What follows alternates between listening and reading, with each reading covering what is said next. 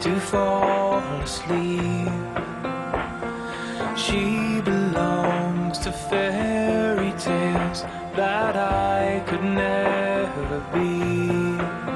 And the future haunts with memories that I could never have. And hope is just a stranger wandering.